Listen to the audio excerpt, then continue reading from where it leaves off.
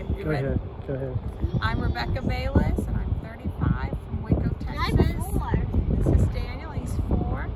And we came and voted today because we wanted to um, elect who we wanted to represent us.